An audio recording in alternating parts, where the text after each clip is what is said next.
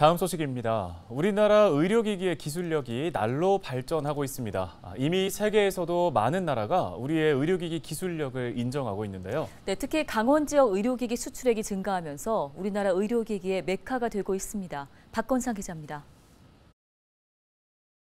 안마기에 앉아 여유 있는 시간을 보냅니다. 운동을 하면서 체지방과 각종 건강을 체크하는 기계도 사람들의 관심을 받고 있습니다. 한쪽에서는 VR을 체험하고 있습니다. 강원 지역에서 생산되는 의료기기 전시회가 지난주 원주 의료기기 종합지원센터에서 열렸습니다.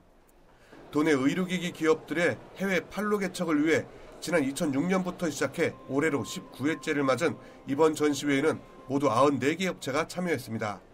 이번 전시회에서는 25개국 100여 명의 해외 바이어들을 초청해 기업과 바이어들의 1대1 매칭을 통한 수출 상담도 진행됐습니다. 실제로 동남아시아와 러시아 등에서 찾아온 바이어들의 반응이 좋았습니다. 우리나라 의료기기의 품질을 인정하고 있는 분위기입니다. 아무래도 지금까지 중국 제품들이 많이 이제 선점을 하고 있는데 최근 들어 이제 그 중국 제품만의 뭐 불량 이슈라든지 그런 대응 그런 문제가 있어서 한국 한국 제품으로 이제 바꾸고 싶어하는 고객들이 이제 대부분이세요. 그에 따라서 이제 저희도 이제 직접 생산하고 있는 의료기기들이 이제 대부분이어서 그 부분에 대해서 설명을 드리고 대부분 좋은 반응을 가지고 있습니다.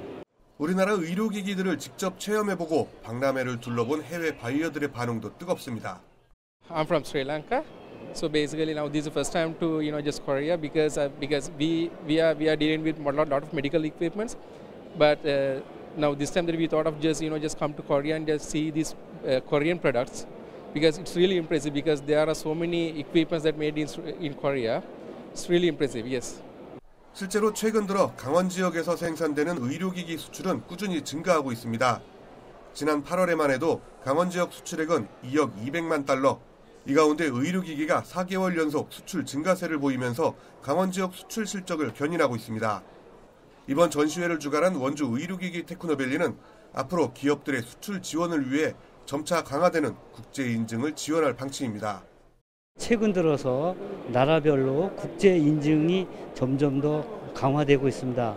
그래서 저희 재단에서 어, 우리나라에서 한 개밖에 없는 국제 인증 센터를 만들어 가지고 어, 의료 기업들이 해외 수출할 때 국제 인증 허가라든지 절차에 많이 지원해서 어, 의료기 사업들이 수출 향상에 도움이 되도록 하겠습니다.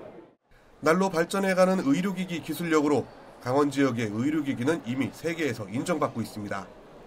헬로티비 뉴스 박원상입니다.